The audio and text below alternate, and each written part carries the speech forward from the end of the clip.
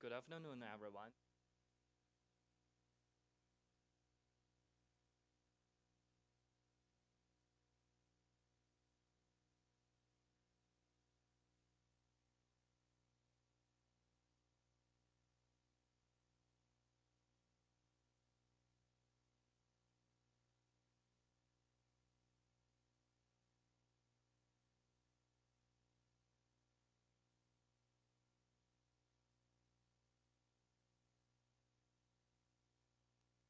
Very well, and uh, it can capture mainly the, the, the, problem in the images, that is the haze and the co-occurring bad saturation uh, issues.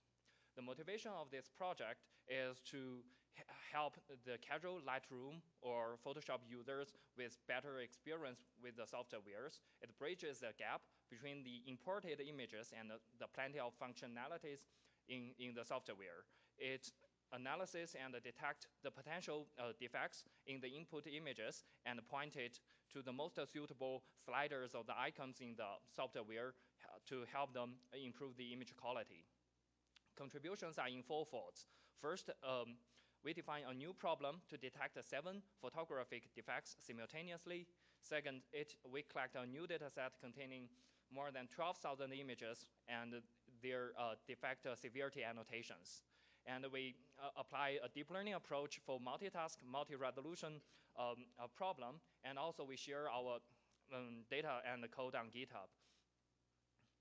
Uh, we define seven photographic defects, including bad exposure, bad white balance, noise, haze, undesired blur, bad composition, and bad saturation. In these slides, the images from left to right are ranked from most defective ones to defect-free ones, except the bad saturation, which has two extremes, from oversaturated to well-saturated, and then to undersaturated defects from left to right. In terms of data collection, we launched the questions on the Amazon Mechanical Turk. Here's an interface, and we collected the user's rating for three of the severity levels, and we collected them. And in total, there are more than 12,000 natural images downloaded from Flickr, seven defects per image, five annotation votes per defect, and then we average over them, weighted average. And finally, we get 400, more than 400,000 annotations in our dataset.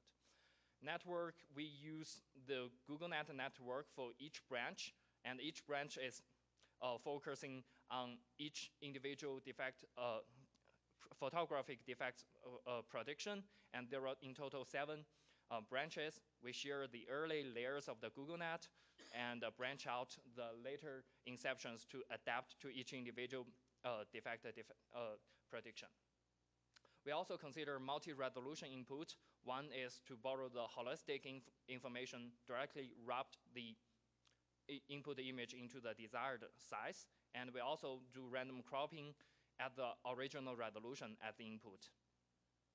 Some visual results. In the left-hand side is the input image with um, oversaturated issue, and right-hand side, our blue bars are our prediction, green bars are the ground truth. We consist with, uh, the prediction consists with uh, ground truth, and it catch, capture the major problem.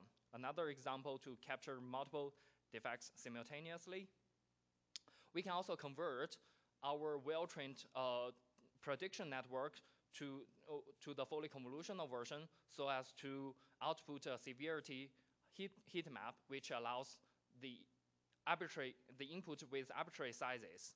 The left-hand hand side one, it localizes the bad exposure defects at the two sides of the image, the shadowed rocks, and the right-hand side one, it captures the motion blur of the girl's face and uh, some quantitative results. We do application study uh, with different architectures, different uh, loss designs and input combinations, and realize the proposed one just introduced just now is the best. And we also compared with previous methods.